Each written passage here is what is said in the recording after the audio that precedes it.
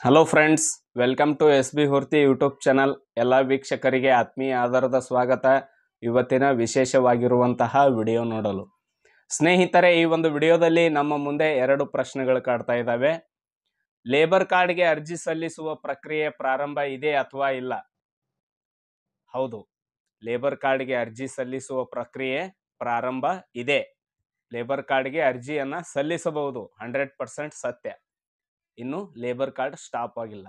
ಹಾಗಾದ್ರೆ ಲೇಬರ್ ಕಾರ್ಡ್ಗೆ ಯಾವ ರೀತಿ ಅರ್ಜಿಯನ್ನು ಸಲ್ಲಿಸಬೇಕು?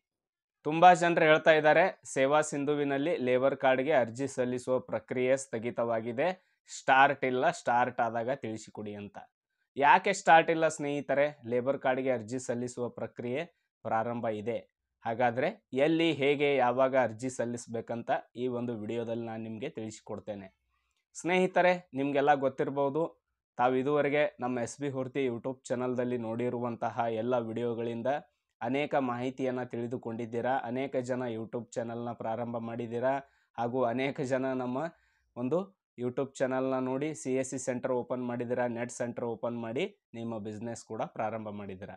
ಸೊ ಸ್ನೇಹಿತರೆ, ನೀವು ಯಾವ ರೀತಿ ಒಂದು ಡೆವಲಪ್ ಆಗ್ತಾ ಇದ್ದೀರಾ, ಅದೇ ರೀತಿ ನಾವು ಕೂಡ ಡೆವಲಪ್ ಆಗಬೇಕಂದ್ರೆ ನಮ್ಮ ಯೂಟ್ಯೂಬ್ ಚಾನಲ್ದಲ್ಲಿ ಬರುವಂತಹ ಎಲ್ಲ ವಿಡಿಯೋಗಳನ್ನು ನೀವು ಸರಿಯಾಗಿ ನೋಡಿ ಎಲ್ಲ ವಿಡಿಯೋಗಳನ್ನು ಲೈಕ್ ಮಾಡ್ತಾ ಇರಿ ಹಾಗೂ ಎಲ್ರಿಗೂ ಶೇರ್ ಕೂಡ ಮಾಡ್ತಾ ಇರಿ.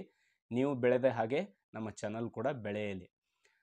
ಮೊದಲನೇದಾಗಿ ನೋಡಿ ಸ್ನೇಹಿತರೆ, ತಾವು ಇದುವರೆಗೆ ನಮ್ಮ ಚಾನಲ್ ಸಬ್ಸ್ಕ್ರೈಬ್ ಮಾಡಿಲ್ಲ ಅಂದರೆ ಸಬ್ಸ್ಕ್ರೈಬ್ ಮಾಡ್ಕೊಳ್ಳಿ ಬೆಲ್ಲೈಕನ್ ಕ್ಲಿಕ್ ಮಾಡಿ ಪ್ರತಿಯೊಬ್ಬರು ವಿಡಿಯೋನ ಲೈಕ್ ಮಾಡಿ.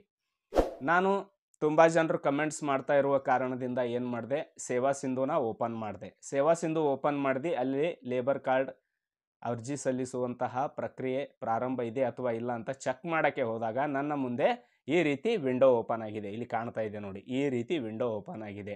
ಅಂದರೆ ಲೇಬರ್ ಕಾರ್ಡ್ಗೆ ಅರ್ಜಿ ಸಲ್ಲಿಸುವ ಪ್ರಕ್ರಿಯೆ ಸ್ಥಗಿತವಾಗಿದೆ, ಸ್ಥಗಿತಗೊಂಡಿದೆ ಅಂತ ಈ ರೀತಿ ನೋಟಿಫಿಕೇಶನ್ ಬರ್ತಾ ಇದೆ. ಅಲ್ಲಿ ಇಂಡಿವಿಜುವಲ್ ಆಗಿ ನೀವು ಸೇವಾ ಸಿಂಧುವಿನಲ್ಲಿ ಅಪ್ಲೈ ಮಾಡುವಾಗ ಪ್ರೊಸೆಸ್ ಸ್ಟಾಪ್ ಆಗಿದೆ. ಲೇಬರ್ ಕಾರ್ಡ್ಗೆ ಅರ್ಜಿ ಸಲ್ಲಿಸುವ ಪ್ರಕ್ರಿಯೆ ಸ್ಥಗಿತವಾಗಿದೆ. ಇದರಲ್ಲಿ ಸೇವಾ ಸಿಂಧುವಿನಲ್ಲಿ. ಯಾವಾಗ ನೀವು ಸ್ವಂತ ರಿಜಿಸ್ಟ್ರೇಷನ್ ಮಾಡಿ ಲಾಗಿನ್ ಮಾಡಿ ಅರ್ಜಿ ಸಲ್ಲಿಸಲು ಹೋದಾಗ ಮಾತ್ರ.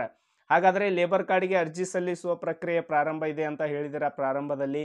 ಮತ್ತೆ ಈಗ ಯಾಕೆ ಈ ರೀತಿ ಹೇಳ್ತಾ ಇದ್ದೀರಾ ಅಂತ ಕನ್ಫ್ಯೂಷನ್ ಆಗಬೇಡಿ. ವಿಡಿಯೋನ ನೋಡಿ ಸಂಪೂರ್ಣವಾಗಿ. ನೋಡಿ ಸ್ನೇಹಿತರೆ, ನಿಮ್ಮ ಹತ್ತಿರದ Grama one, Karnataka one, Bengaluru one ಸೆಂಟರ್ಗಳಲ್ಲಿ ನೀವು ಲೇಬರ್ ಕಾರ್ಡ್ಗೆ ಅರ್ಜಿ ಸಲ್ಲಿಸಬಹುದು. ಅಲ್ಲಿ ಓಪನ್ ಇದೆ. ಗ್ರಾಮ ಒನ್ ಕೇಂದ್ರದಲ್ಲಿ ಅರ್ಜಿ ಸಲ್ಲಿಸುವ ಪ್ರಕ್ರಿಯೆ ಓಪನ್ ಇದೆ. ನಮ್ಮ ಫ್ರೆಂಡ್ ನಿನ್ನೆ ತಾನೇ ಅರ್ಜಿ ಸಲ್ಲಿಸಿದ್ದಾರೆ. ನಿಮ್ಮ ಹತ್ತಿರದ ಗ್ರಾಮ ಸೆಂಟ್ರಲ್ಲಿ ಹೋಗಿ ಅರ್ಜಿ ಸಲ್ಲಿಸಬಹುದು. ಯಾವುದೇ ರೀತಿ ಸಮಸ್ಯೆ ಉಂಟಾಗುವುದಿಲ್ಲ. ಹಾಗೂ ಈ ಒಂದು ಇಂಡಿವಿಜುವಲ್ ಆಗಿ ಅರ್ಜಿ ಸಲ್ಲಿಸುವಾಗ ಸೇವಾ ಸಿಂಧುವಿನಲ್ಲಿ ಆ ಪ್ರಕ್ರಿಯೆ ಸ್ಥಗಿತವಾಗಿದೆ. ಪ್ರಾರಂಭವಾದಾಗ ನಾನು ತಿಳಿಸಿಕೊಡ್ತೇನೆ. ವಿಡಿಯೋ ನೋಡಿದ್ದಕ್ಕಾಗಿ ತುಂಬ ಧನ್ಯವಾದಗಳು.